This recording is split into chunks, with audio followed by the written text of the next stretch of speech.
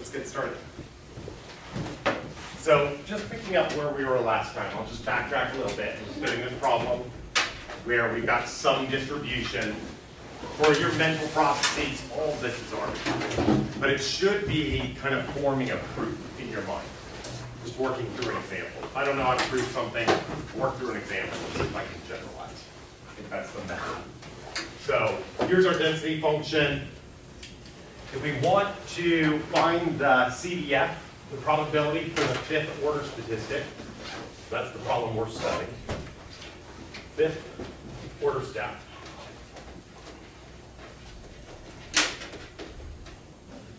And we took n to be 6.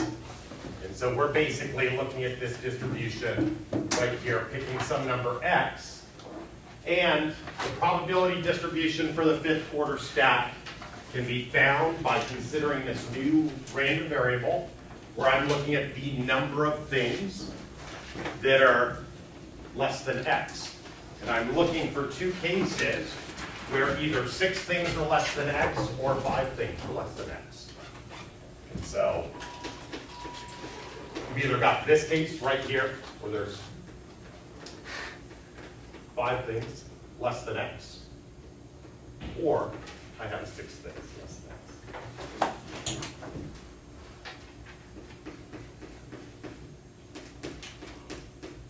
If I only had four things less than x, well, the fifth order statistic is not less than x. And that's what we're trying to figure out in the first place, the probability distribution of that. So we're kind of mapping our, our space. We're thinking about the problem differently. Let me just ask a question real quick. I went from something with a variable x to something without x right here. So what should I write to remind ourselves that there's an x in that equation? So I would probably write this down.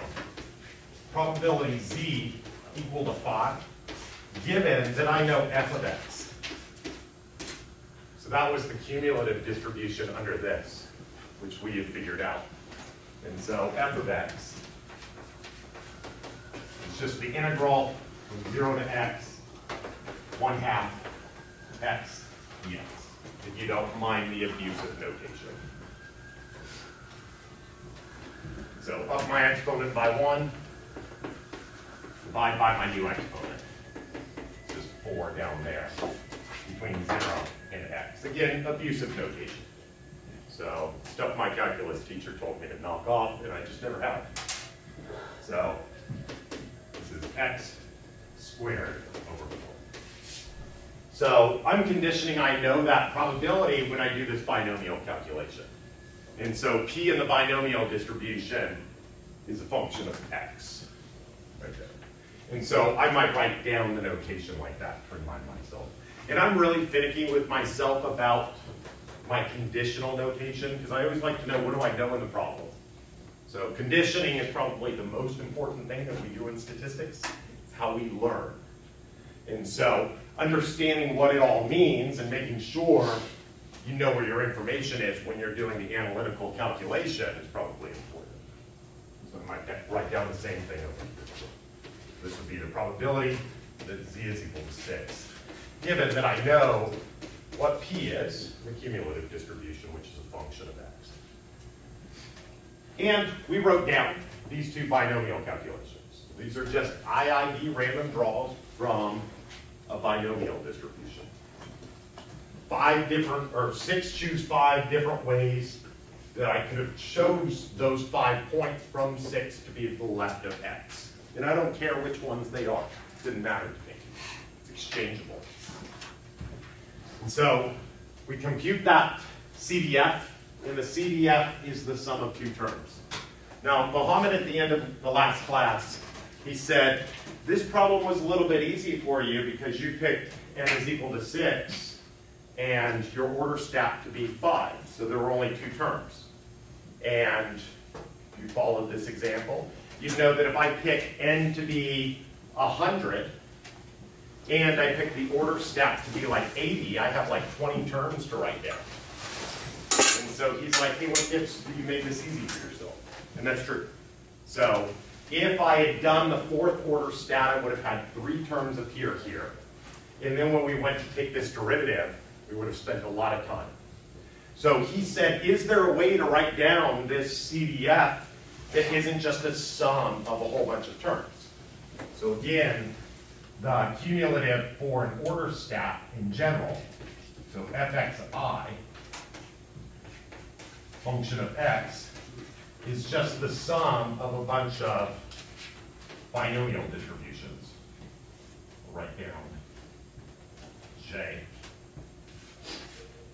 f x to the j y minus fx to the n minus j. J gets summed from the order statistic of interest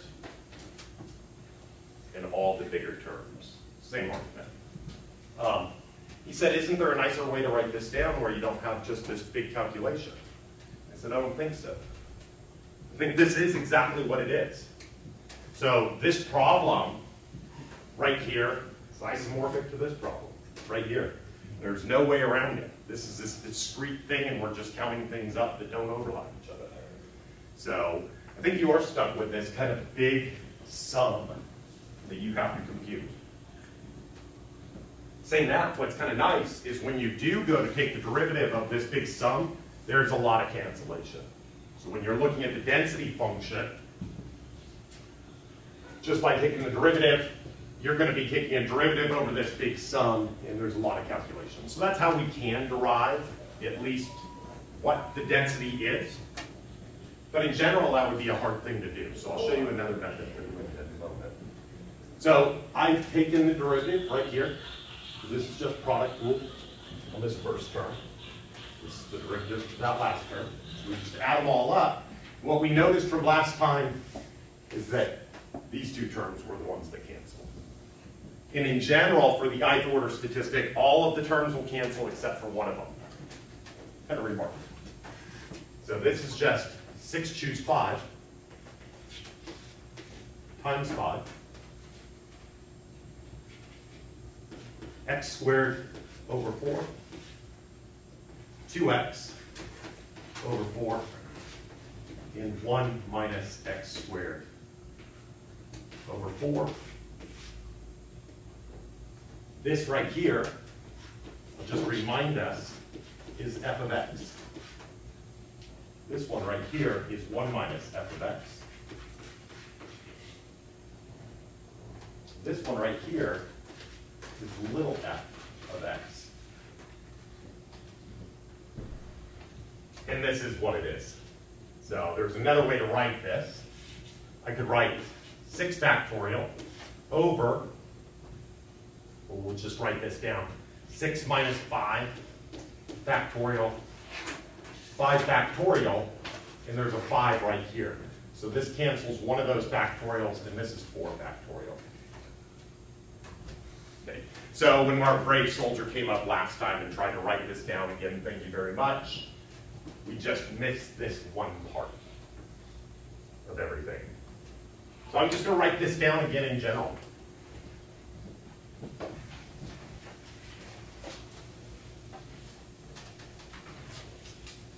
So this formula that we ended up coming up with, specific to the fifth order statistic, was just 6 factorial over 4 factorial, 6 minus the order statistic factorial.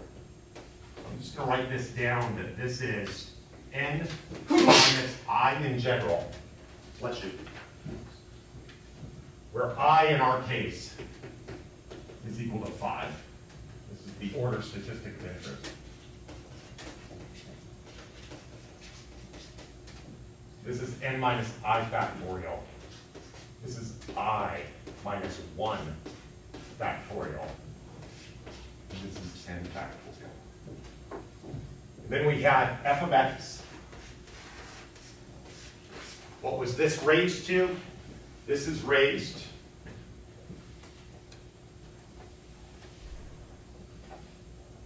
the term, right?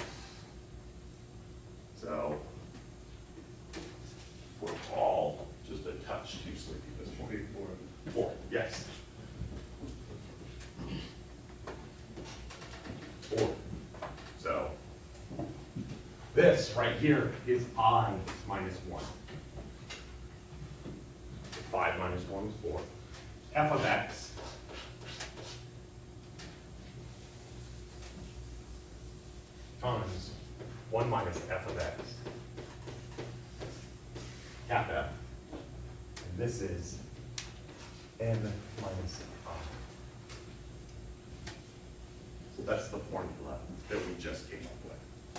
And in general, that is the general formula that we write down.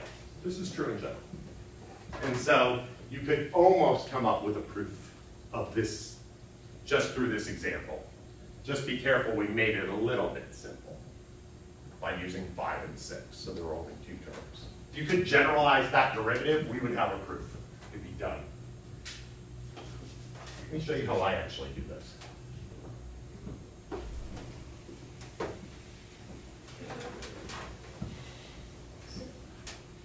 Yes. Uh, Even for the pre- probability of z is equals to five, why do you have, why do we have this term six, C five? Six choose five. Six choose five, so again, that's just the number of ways out of n that I can put things to the left of x. I'll show you in a second. Let me, let me, let me try to answer the question. So I think I'm anticipating your question right about the end. Let me give you a secondary explanation. Good question.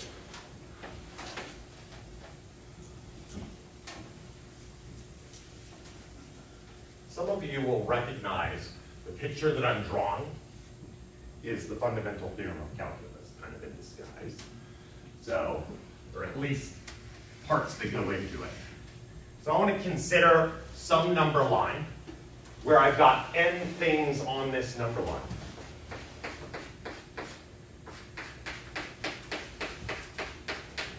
Okay.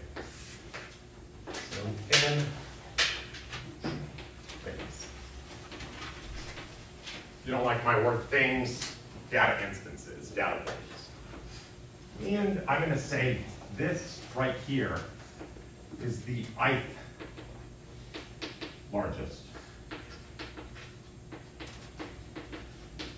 So we're going to concern ourselves with figuring out what the distribution of the ith order statistic is.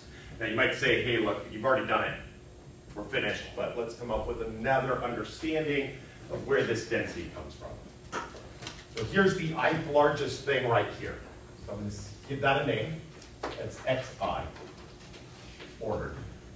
This one right here is x1. This over here is xn, just for redundancy. So let me ask a question. How many things are over here? I minus one. I minus one things.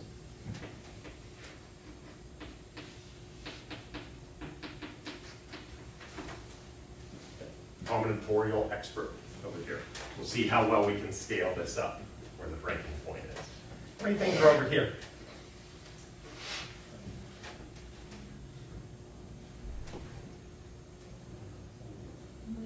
And minus five. I was enamored by people that can do pretty sophisticated mathematics and cannot count, which is most of my colleagues. So, so this is n minus i things over here. Okay, what's the probability that we're over here?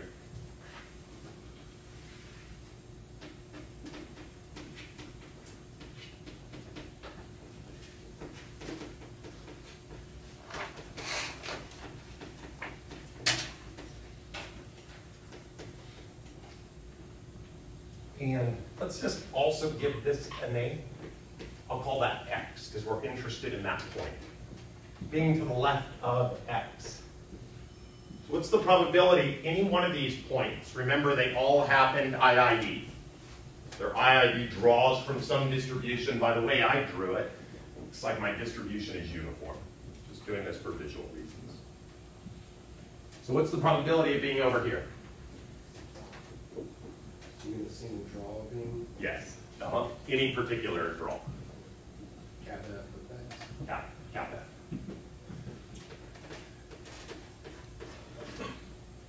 What's the probability of being over here?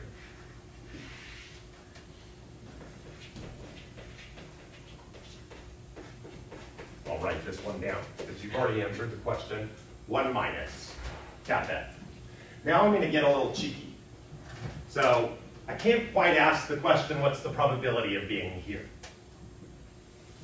So we already know the answer to that. It's zero.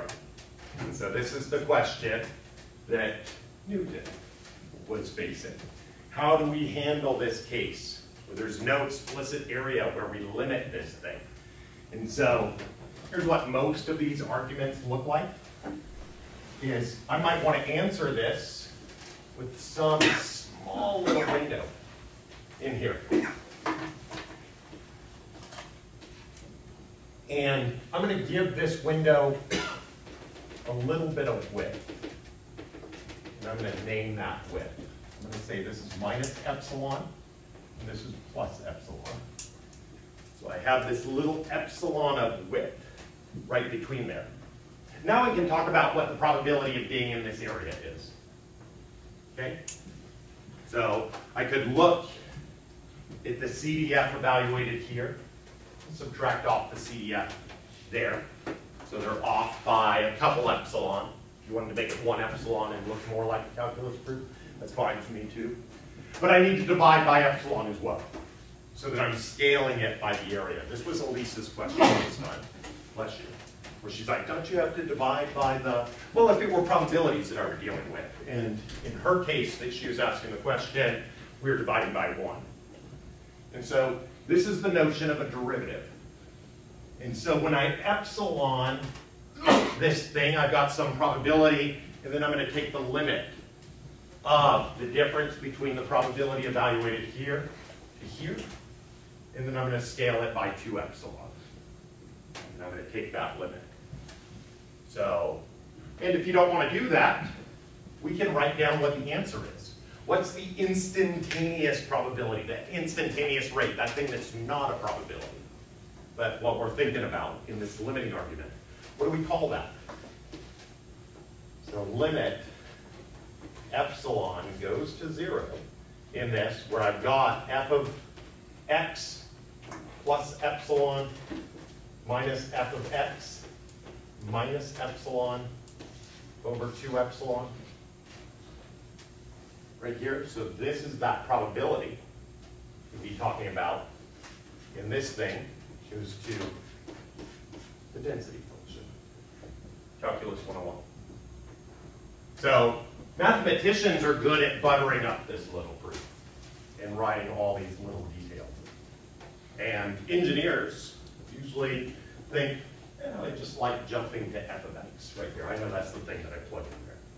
If you understand why, you could probably explain it to somebody with a picture. I think that's good enough for me. And so now let's go back to, however you want to digest this, let's go back to the original question. Why all these little factorial things? So how many different ways can I rearrange all these points? It doesn't matter to me the order in which they came here. I could shuffle them around over here. And it's indistinguishable. And so there's i minus 1 factorial different orderings to this, and I get the same picture. That's all I care about. And so this is i minus 1 factorial ways of rearranging.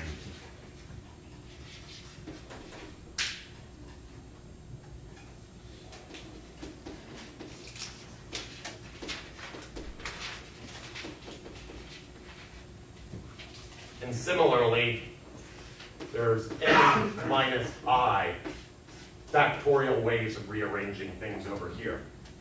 How many ways are there of rearranging that one point? And keeping the picture the same. There's only one choice. So nothing to move around. So we're almost done with the reconstruction of this argument. Almost back to your thing. Different ways of looking at it, either through the derivative or this sort of pseudo-calculus proof.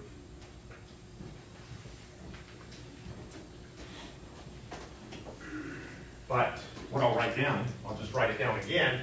If I try to figure out what the distribution, the density function is for this whole thing, all of these things are conditionally independent. So I just need to product of them together. So I'll do that What's the probability of all of these things happening? Well, each one of them happen with this probability right here, f of x. And there's i minus one of them. Through independence, I just product them together. So that's just raising it to that power. How many different indistinguishable ways can I order everything there? I think we'll deal with the whole problem at the end, but we have to think about this reordering of everything. But I multiply in my density function, that's that one point. And the stuff to the right of that, that's n minus i. And now I need to take care of all of my rearrangements and my combinatorics in this problem. The combinatorics are n factorial, different rearrangement of all of these points. You can rearrange them in any way, but some of them I care about their distinguishability. And so I have to take out my minus 1 factorial. If you'd like 1 factorial, I can cut that down n minus i factorial. We usually don't write that down. So that's where they all come from, a different way of looking at it. So kind of cool. So I'd almost call that a proof.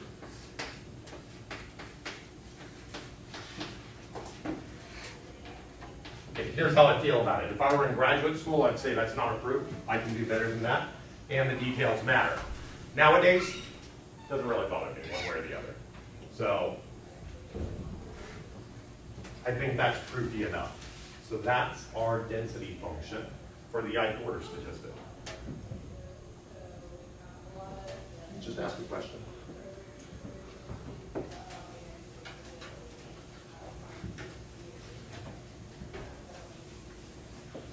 Some simple questions.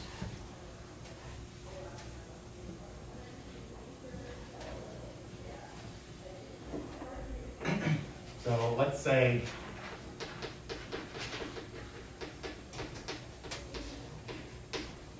xi comes from a uniform 0, 1. I goes from 1 to n. All of these are IID. What's f of x n? So this is the max.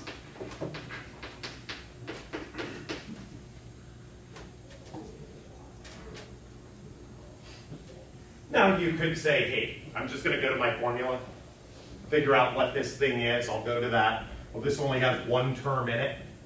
So I can probably figure out what that one term is. That's one way of doing the problem. So I can look at this formula. I, I'll say j is equal to i. i in our case is going to be n. I'll sum to n. n choose j fx to the j 1 minus fx. n minus j. Okay, so I could just go and brute force this thing. Say, let's plug everything in. Well, that's kind of convenient. j is equal to n, so there's only one term in this sum. And so I can write down that this is f x to the n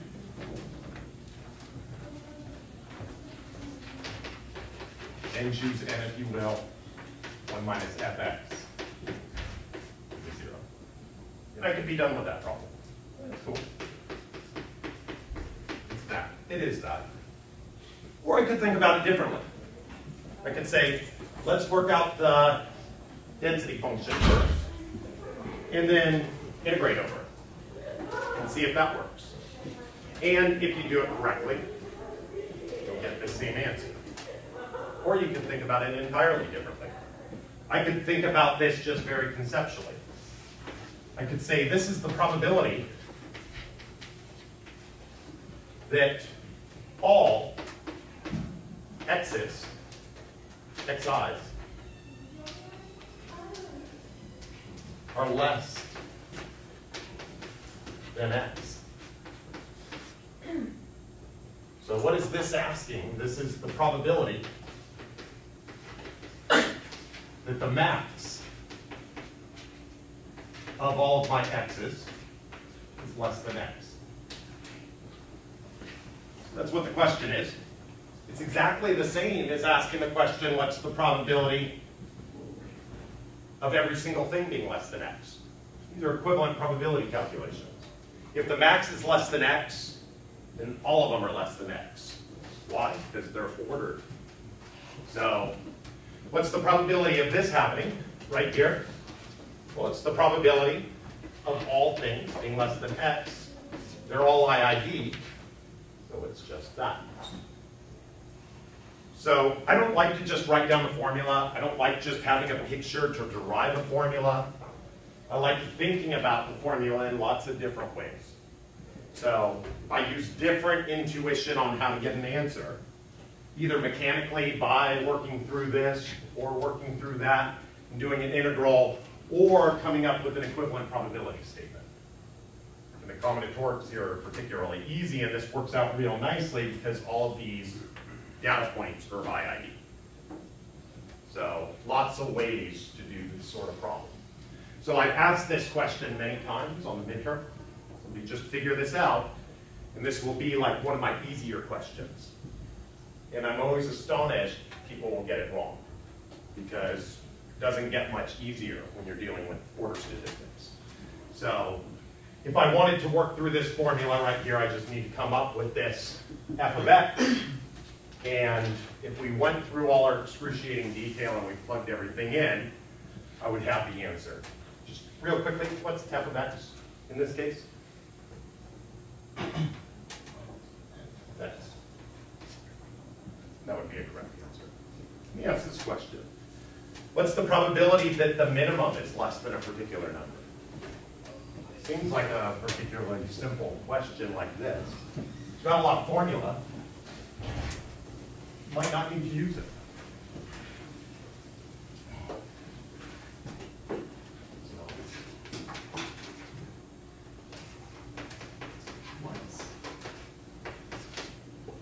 F of x1.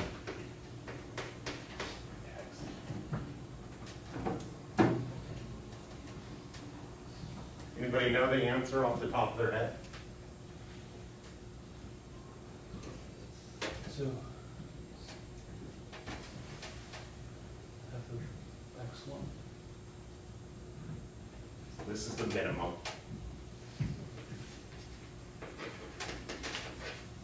So my uniform example, zero to one, I've got n data points in here. I'm looking for the distribution that that thing wiggles around. It's gonna be some distribution that's gonna be shoved over toward zero as n gets bigger. When you work through the answer, that better happen. So I like to look for that on midterms as well. Do you see, do you know what a sensible answer looks like? In. N minus F of X times. Right, one minus, one minus f. I heard a lot of things that sounded like that.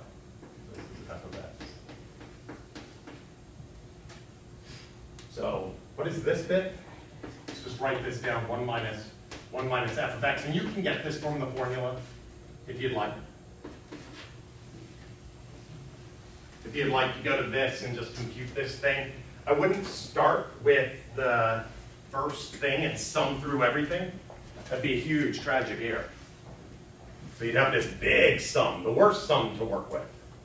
And if I had asked what's the density or something like that, and you're trying to remember what the picture looked like, but you didn't, and you said, I'm going to take all these derivatives, that would be a tragic error. What you'd want to do is flip the problem around and work in the complementary space. And so complement, complement in and out of the problem. And so what is this right here, this interior part, is just the probability that all of my x's, say x1, is greater than 1. But I know these things are all ordered.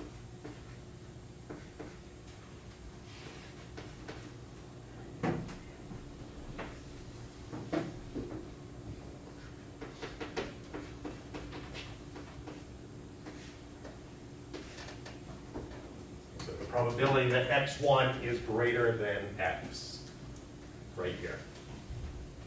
Why is this all true?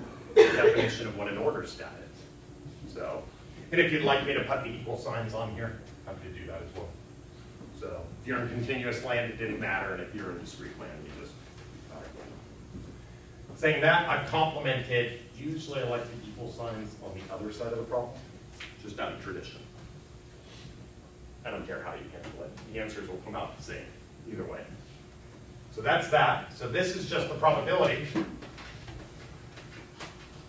All xi's greater than x.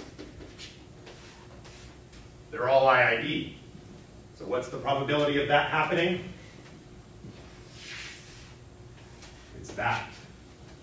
Now I want to flip the direction of the sign again. So I've just flipped this direction. So 1 minus f of x is measuring the probability that something is greater. And then I complement that to put it on a CDF scale. And that's what it is. So you can think about it very traditional. Just what is the probability statement? You can run your formula, either work through the sum answer directly, go through the density, integrate it. They'll all work out the same. I'd encourage you to try that. So problems that you know should work out in these all these different angles, work through them as homework exercises. So this one, if somebody can't write this down and they get this wrong, I get worried on midterms. Okay, let's see if we got that proof that I did. Let's change the question slightly.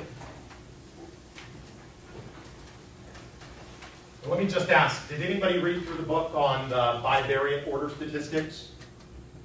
What the formula is for bivariate distribution of order stats? No? It'd be good if you read the book. so, saying that, it's a little complicated what they work through. So read through it. See how you do in that passage. I remember reading through it and going, I will never remember this formula ever. So I have no ability to remember this thing. So I'm going to forget this every other day. I hope they don't ask about it on a test. And of course they're going to. So let's see who remembers it. So I needed to come up with a way of reconstructing this formula. And that's the picture. We'll do that picture again and see if it works out. My doubt isn't clear. So my, my query is about why do we have the shuffling of the terms less than x, since they're already ordered? They're IID, so it didn't matter which order they came in. Remember, I'm looking at all permutations of that thing. So I'm looking at all possible ways that, in our example, five things can be less than six. How many different ways are there that can happen? Well, I have to account for all the different orderings that produce the same picture. So that's the rough summary. You'll get another chance right here. We'll say that same thing again, but it is the same reason every single time. I don't care what the order is. So that they came in. Yeah, they're ordered in my picture, that's true. That's true for any data set. But I want to know what's the probability that five things are less than six. There's a lot of ways that can happen in our example. Okay, so bivariate. Order stats.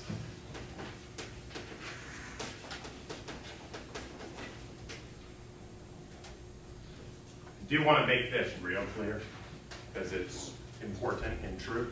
If you read this book and you understand it, and in four years you get out of here and you have good knowledge of this book, you go on to get a professorship. You can teach this class. Nobody wants to teach this class. So, because you have to know how to do all the problems. And so, and that's a little bit of work. It's job security, and it also gives you a better understanding of all the different branches of inference. So when you go to colloquium, you can go, no, I, I understand how these fields relate to each other. So just because I'm not a Bayesian per se, doesn't mean I don't understand your Bayesian argument, and I have a different way of thinking about that problem as well. And so you go on to a claim of success if you know this book. If there's any book in your first two years, if you want to be a statistician, this is it. Know this book. So this is the whole thing. This is the threshold book. This will define your career. How'd I do? You guys gonna read the book? Did it work? Mm-hmm. Try it. Skim it at least. Keep going back to it. Bring in my book next time and I'll show it to you again. So this book looks way too fresh right now. So, well, hold on. So, with this proof that we just did, can we use it to show consistency of the sample minimum as an estimator of the you'd be able to do those sort of things. Absolutely. So, look at that distribution, maximize it, see what happens as n goes, and we'd be able to show how it scrunches.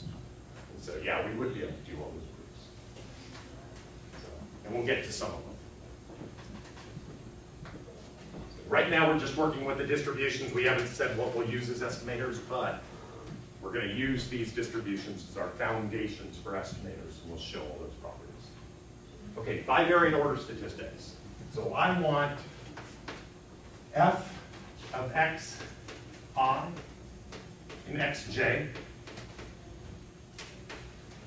And I'll call this u and v. Uh, hold on.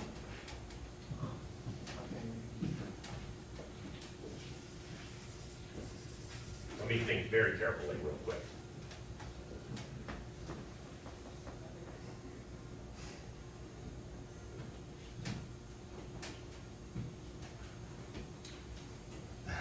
I'll do it. The book does this. So it'll at least match your thing. What I'm trying to avoid is saying FU. So you're gonna get it anyway. And so this is the ith order statistic.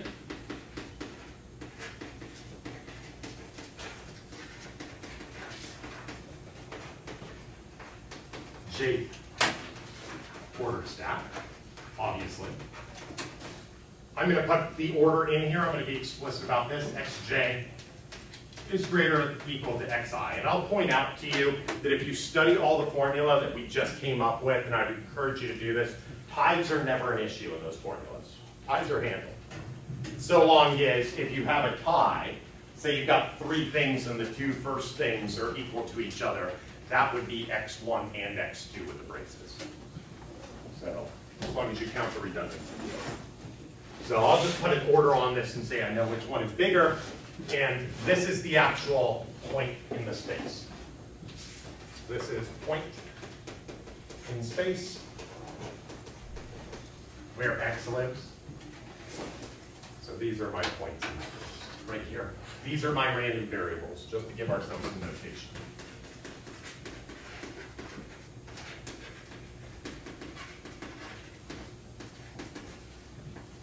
If I had a lot of bold facing, I might make those bold in dark and use the same notation right here and make those italics, something like that. So fairly arbitrary dummy variables. We want to know what this thing is. So it's a joint distribution of both of these.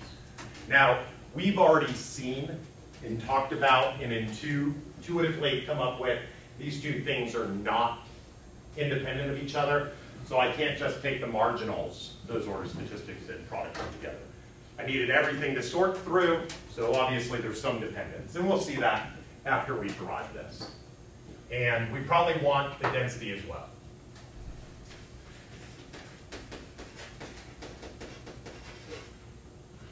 The density, f x i xj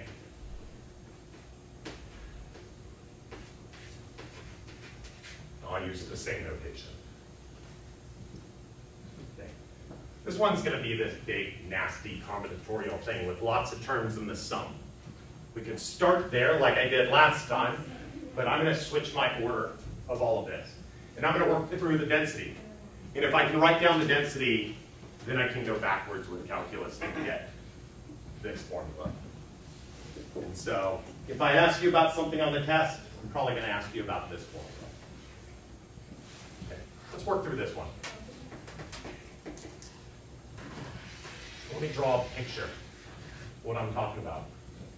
So we've got n data points.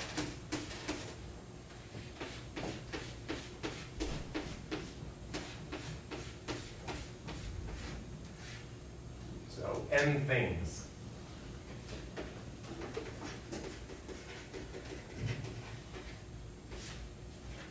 Just to be pedantic, how many different rearrangements of these n things do I have? Permutations and factorial. There's some of them that I want to distinguish from each other. That's why we divide things out in the other factorials that we'll see appear right here. So let's let this be u, this be v. So this is x i, that data point. And this is xj. I'm letting those be part of my n data points as well. And so what I'm going to do is I'm going to do the same thing, draw these little epsilon balls around everything, and then I'm going to limit those probabilities to come up with some definition of a density. And so what's the probability that stuff happens over here? Do it backwards this time. Prob of a data point being over here. F of U.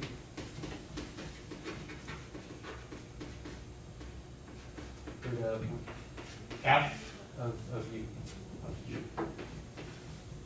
so, and this is for that random variable x that I'm not writing, writing down very often. I'll just be specific about it, since I've got multiple f's running around. How many of these things do we have? One. Oh, oh, no, um, to the left we have I, um, I minus one. i minus 1. How many different rearrangements do I have of all these things? I minus one factorial. i minus 1 factorial. So I'm going to pull those out of the combinations. So again, it is this counting argument, how many things to the left and to the right of everything. So there's one thing here.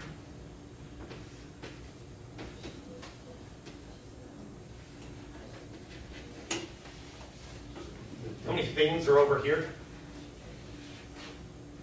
N minus J. n minus j. There's n minus j factorial rearrangements of everything that we're going to have to account for. How many things are in here? G minus I minus one, I think. j minus i minus 1. Absolutely correct. There's j things up to there. So how many things would be in this whole thing, j minus i, but we have to subtract out that one as well. That's the 9 o'clock, can you count exercise? Hold up then. You always. So how many different rearrangements? It's those. There's one thing here. To get this correct, you need all of these things that we're counting up to add to n. So you can double check your own work. So it's really just an exercise in counting. What's the probability of being over here? So that would be, um, one minus F of V. 1 minus f v. That's right. And what's the probability of being in here? F V minus F of.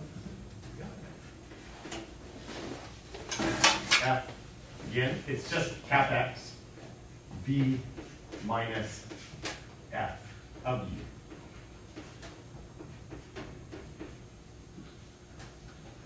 Now we just product everything together.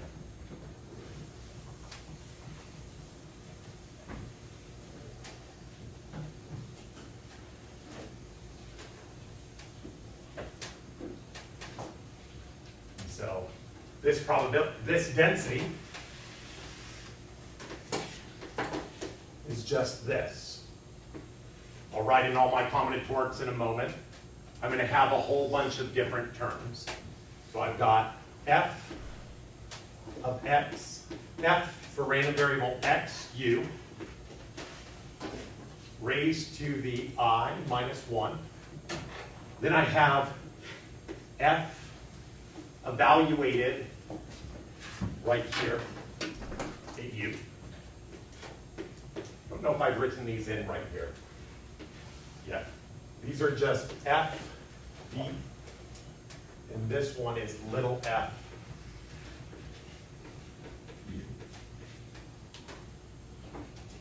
Just to be specific, that's for my IID random variable, that density function.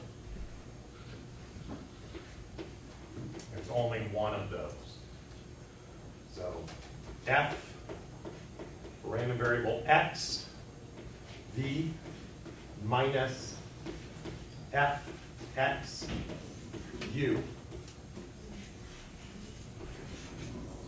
raised to the j minus i minus 1.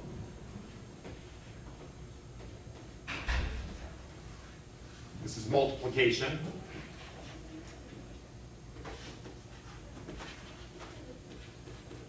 So I'm just continuing this expression. So multiply times this f x v. Only one of those. 1 minus f, random variable x, it's all the same. Evaluated at v, and we raise that to the n minus j. So that's the probability of those. Now this question that we keep getting, how many rearrangements? This is just, we're kind of doing a probability calculation and taking the limit. So this is just a basic combinatorial problem. What's the probability that I have things over here, there's i minus one ways of rearranging it, and I still have i minus one way things over there. That's all we're adding up. And so i minus one factorial, divide those out. I can put in one factorial, then I'll repress that. This is j minus i minus 1 factorial and n minus j factorial. There's our density function, our joint density. It's not just a glorified multinomial distribution? It's different. So this is not a multinomial coefficient. I'm taking two of the points out.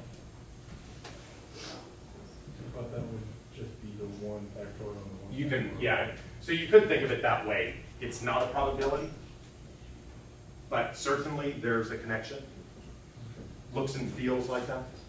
So that's what we just built up in our discrete land, took the limit of it, and um, we got that. So before we took the limit, it's a multinomial.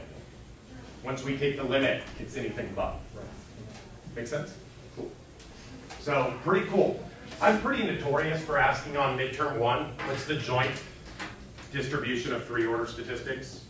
The subscripts i, j, and k, where those are ordered, as you would think. And if you can draw the picture, problem's 25 free points. And write this thing down.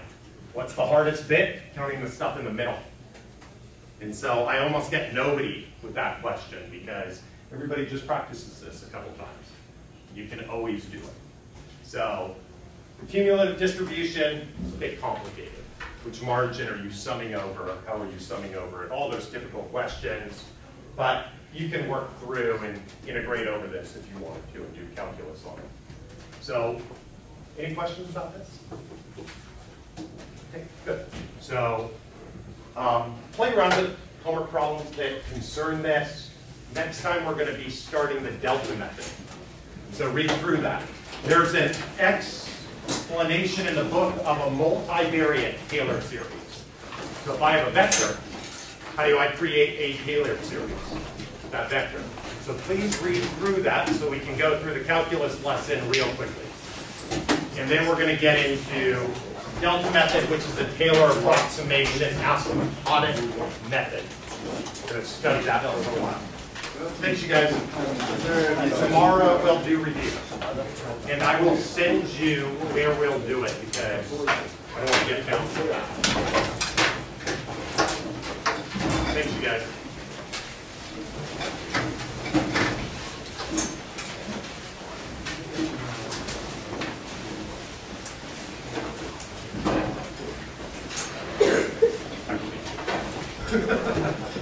But kind of fun, right? I'm always tired of these guys saying pictures are not. Still pretty useful. Still pretty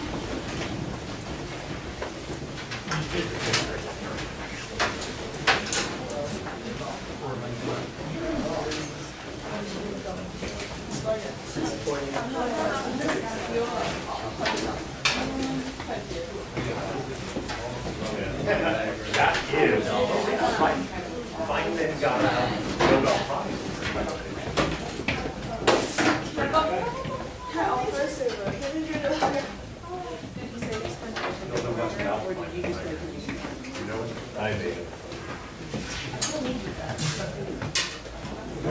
know you're the one that, so.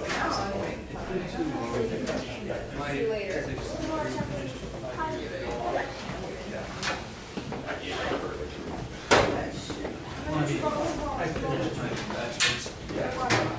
I gave up earlier, so.